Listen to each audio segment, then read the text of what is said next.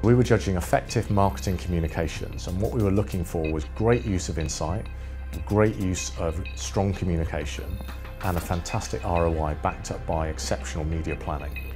The winning paper in effective marketing communications was the Electoral Commission and it's a brilliant paper about tackling a very difficult thing. How do we get people to vote? And they needed to get a million new people to register to vote. And what was great is they showed insight around what it would feel like if people lost the right to vote. And that alone, with a great campaign, delivered 1.5 million new people registering to vote. Great piece of work. The Marketing Society Excellence Awards are the best awards, the very best creme de la creme of awards for marketeers in the UK, and I'd argue probably globally. So if you're going to put a paper in, it needs to be the very best.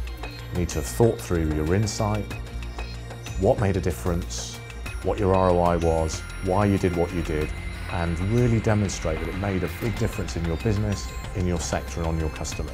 And that is a winning paper. I absolutely love judging the Marketing Society Excellence Awards because they are the best. And you get to rub shoulders with the good and the great of the marketing world. And you get to compare notes, talk to your peers, and importantly, read brilliant and inspiring case studies.